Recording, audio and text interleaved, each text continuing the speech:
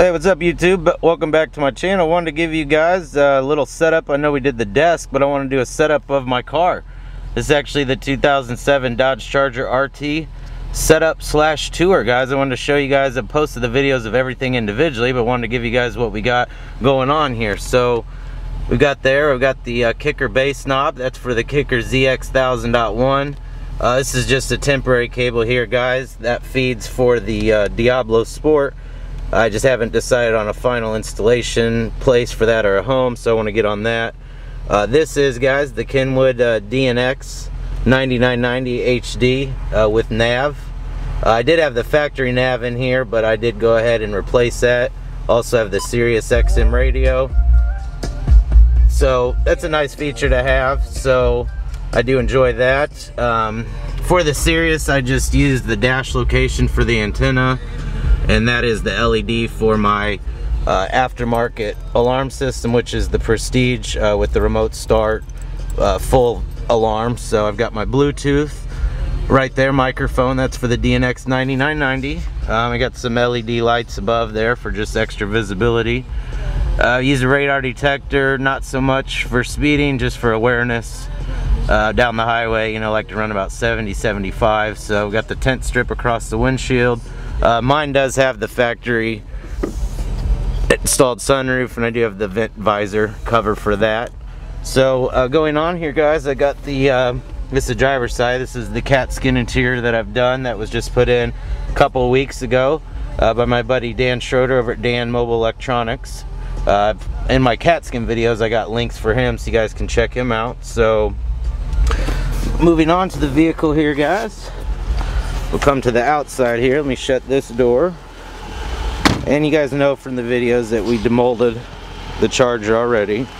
So we've got under the hood, I've got the motor running guys.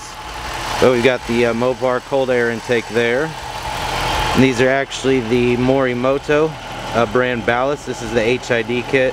I'll put a link in the description of the retrofit uh, sourcekit.com. That's where I got those from. There's a Mopar Elite specific kit and that's the one I have comes with the harness. So I'm getting ready to install the oil catch can. As soon as I order it that'll go there. Uh, like I said guys that's the factory cold air intake. And I have swapped out the slotted grill there and have inserted the honeycomb that would come on the RT package. Um, and I've put the RT emblem in there. You guys can see the honeycomb there. And moving on to the vehicle. On the driver's side still same demolded. Give you guys a more preview here of driver's side cockpit view. So here's my gauges here.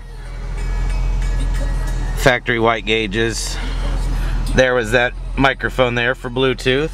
You know, and you can see everything's here. Easily accessible here. The Diablo down there. So I've got the kicker bass knob like I said. I just used um, double stick uh, velcro because I didn't want to put any screw holes and I wasn't for sure if that's where I wanted that so it's kind of worked out for right now.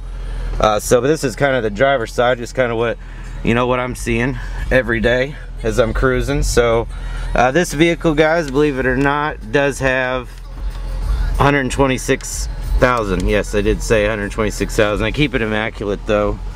I bought it with about 30,000 I think close to that so here's the back seat guys this is a with that new Katzkin interior, of course.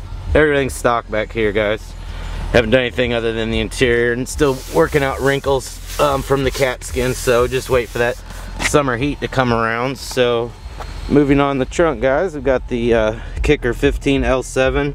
This is on a custom enclosure here, a white match counter. It's uh, countersunk there white to match the vehicle. So that's uh, tuned at 32 hertz uh, 3.4 cubic feet. Uh, this thing uh, hammers guys. I will not lie. This is uh, pretty much takes up the whole trunk.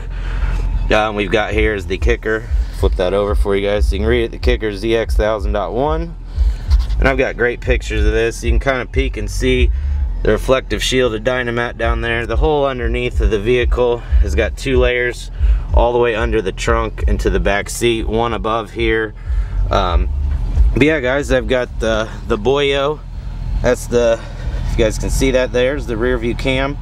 So every time I throw it in reverse that automatically kicks on uh, which is kind of nice. So we've got the MagnaFlow dual exhaust guys and that's a kit and I'll put like I said linked about the MagnaFlow um, in the description below and give you guys kind of a lower tour of the vehicle here.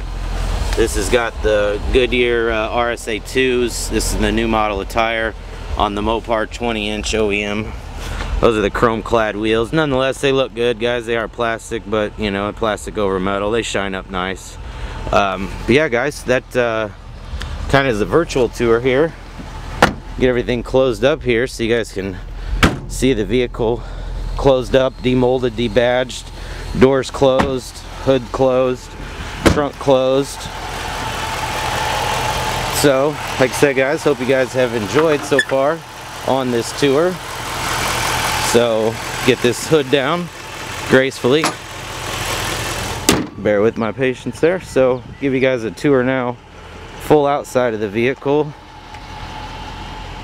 with everything closed up. So like I said guys, we did some demolding, debadging. Check my videos for that.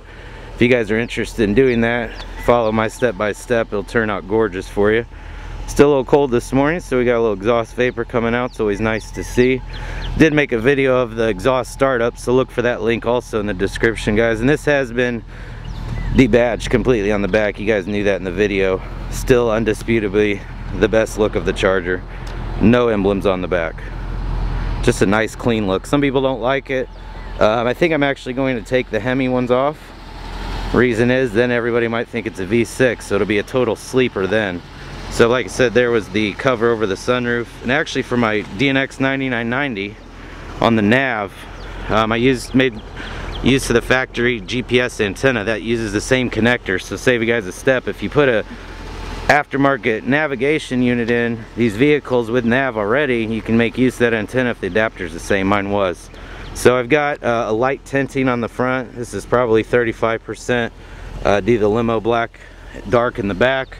Our law has changed in Illinois so I actually have all of this dark just not as dark as the back but I think my back is still within the legality. So um, different angles at night it looks darker. Obviously I get up on it it looks more reflective further away you can see in it Got the strip across the windshield. Like I said, guys, this is a 07 Charger RT, uh, 127,000 miles. It's not brand new. It, I mean, it's it's immaculate. Don't get me wrong. There's some flaws, like every car has flaws, even brand new ones. But uh, this is kind of the the virtual tour of my 07 Charger RT. I figure I showed you my desk. I wanted to give you a full preview of the vehicle. So uh, thanks for watching. Look for the links in the description below. And please, guys, subscribe. I appreciate everyone's support keeps me out here doing this. I'll do it anyway, but appreciate everybody. So thank you guys. Thanks for watching.